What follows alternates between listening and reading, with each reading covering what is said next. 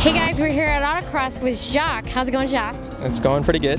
So tell us a little bit about your experience with autocross. How long have you been doing it?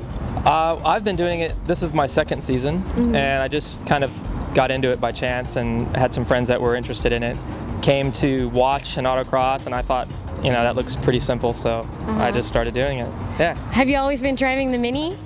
Um, two years I've been driving. This is my second Mini. Yeah, Uh-huh. two years. And uh, so you've done the autocross with the Mini, right? Only the Mini, yeah. That's all. Well, I've raced uh, a Subaru one round, Uh-huh. and uh, pretty much every other time I've been racing Minis. Yeah.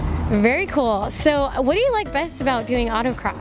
I think it's just uh, the camaraderie, you know, with all the, the other competitors, and it's a it's a full day. It's a it's a nice activity, and uh, it's good to just be able to drive at the limit and not worry about you know Cops and stuff? yeah, or damaging your car or getting a ticket or yeah, that sort of thing. Yeah, we, we, we caught you guys earlier, like having the group lunch going on there. We didn't want to interrupt you, like while you're eating your sandwich. But yeah, it seems like it's a good time. Everybody hangs out. Yeah, we usually you know spend the day and then uh, afterwards go grab some dinner and uh, people come from sort of LA area all around Southern California, even Arizona, uh, you know, as far as Arizona. So it's just good to make some new friends and yeah. Very cool. So, what is your best ranking so far? Well, I've won a few. Nice. Yeah, so pretty. I guess that's my uh-huh. best ranking is maybe first place.